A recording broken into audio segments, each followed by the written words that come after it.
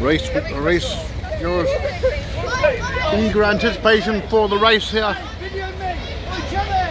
Alright mate, looking very smart. looking very smart anyway. Number 10, Lionel. Up to the Gold Cup day here in Cheltenham.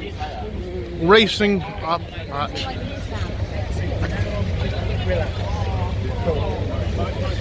Certainly in good spirits for the racing here in Cheltenham. All the buses here as well going all the way up that way. Certainly walking up there is probably the best way.